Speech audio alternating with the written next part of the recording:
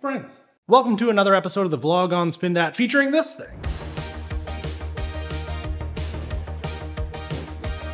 Now, since the last dedicated upload featuring the Ride One Up Revv 1, I have changed two things. Number one being this RockShox plastic fender that's supposed to be on my RockShox Revelation. And one more thing, software related that you can't see unlocking the off-road mode of this thing. See how it says off-road? That means off-road. It's faster now. It basically goes faster. I think it unlocks it to like 32 or 36 miles. I could probably have looked it up, but I didn't.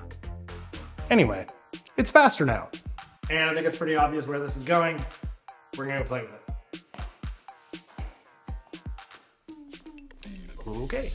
Though, unlike every other video using these moped style e-bikes, we're actually going to truly ride off-road on four-wheeler trails and some Enduro Moto single track, not just the generic dirt road high speed test that everybody else does. These bikes are way more fun than just top speed runs, and not enough people are showing it. Having learned some lessons from the last ride, I decided to be a bit more sensible with my range and left the Revv 1 in pedal assist 1 to get to the trailhead, ensuring I had as much range as possible when I got in there. It's not fast like this motorcycle, but it does get you there.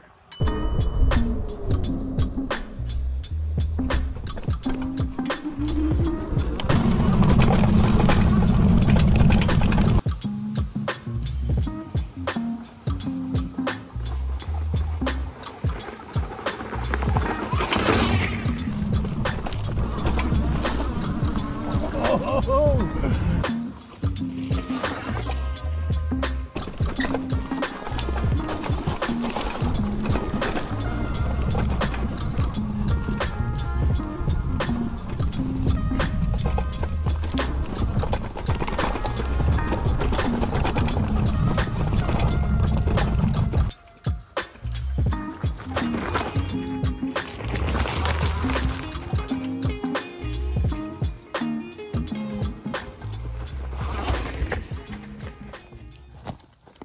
Of a trail obstruction here.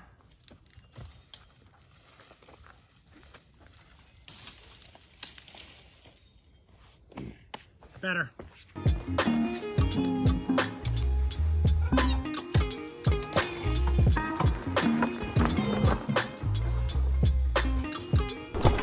Now, I took a second to look up if unlocking off-road mode does anything for increasing torque, but it only mentions that it gives you the more like higher mile per hour. But I don't know. The front end of this thing keeps kind of coming up on me when I'm not ready for it, like there. This thing, even though it's a hardtail, still super fun on like single track like this. And off-road mode, I don't know. I'm pretty sure there's more torque. Maybe there isn't. Keep going into the willy wags.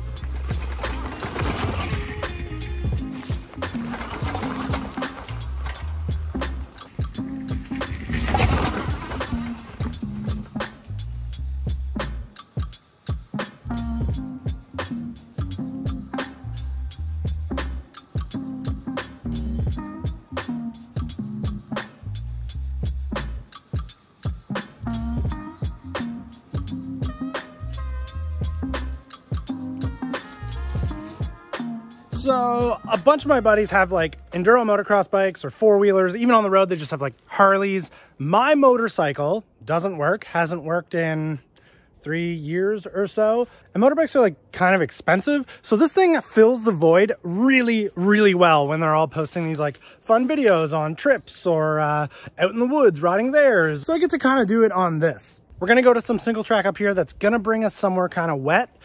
I'm thinking it might have dried up a little bit by now. We might be able to get all the way through. Now this little descent is like not long by any stretch of the imagination, but it's fun because it's got a bunch of switchbacks and a couple little fast sections right up at the top. It's just I don't know where I'm going. This rock section here. Yeah. Whoa. Sharp right. Left. sharp left here, around this. Good. Have to use the throttle much. Throttle out of that. And that's it.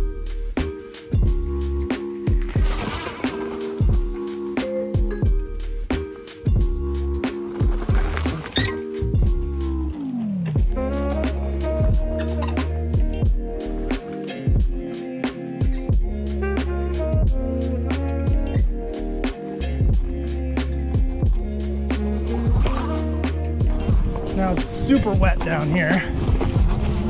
Hopefully you can hear what I was saying. Oh, my shoe!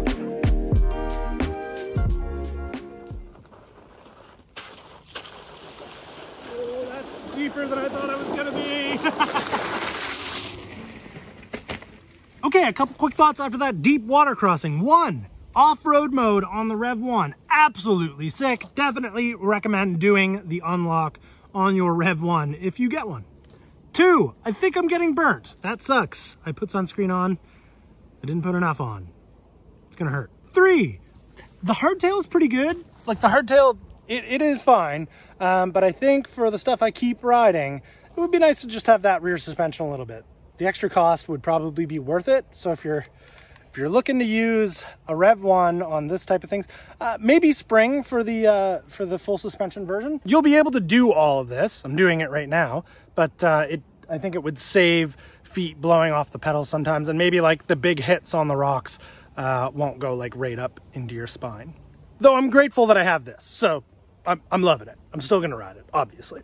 The last ride we did with this on the channel, it was 22 kilometers and it was dead. When I got home, it was completely dead. I'm about half that distance now, and I still have full battery. So I think I've just learned how to be a little bit more deliberate with the power by pedaling here and just knowing when to really full throttle it and, and when it's not worth it. Okay, keep going.